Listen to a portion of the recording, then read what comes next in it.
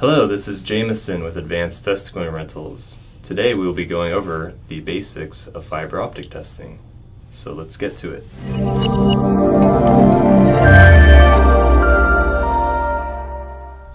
Today we are using the ODM TTK 650 fiber optic inspection test kit for single mode fiber.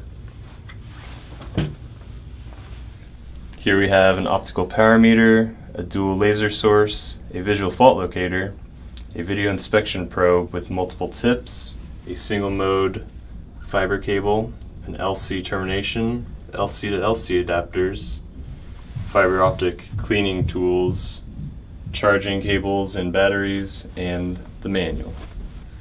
Typically, we see three kinds of fiber in the field that require testing. 9 micron single mode, 50 micron multimode, 62.5 micron multimode.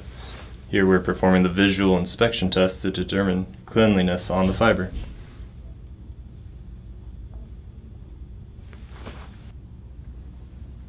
Here we can see the fiber has failed the test and therefore needs cleaning.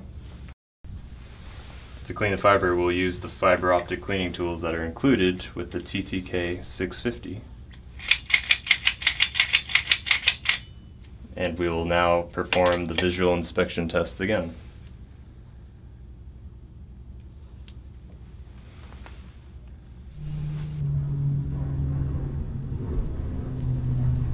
We can now see that the fiber passes the visual inspection tests.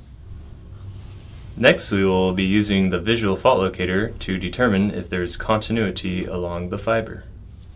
Okay, using the visual fault locator, we will connect to the SC end of the fiber to see if there is continuity along the line, and we see that there is.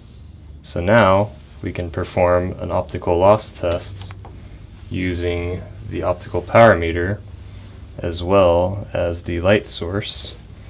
And with, with this equipment, we also have the ability to use a toner to determine if we are connected to the right line. And we'll show the toning feature right now. So we can hear that we are connected correctly. And now we can read the measurement of the light source and see that it is at negative 4.88 dBm. And that completes the basic fiber optic verification tests. So learn more, visit our website. Also, check out our other videos on communications test equipment. Thank you for watching.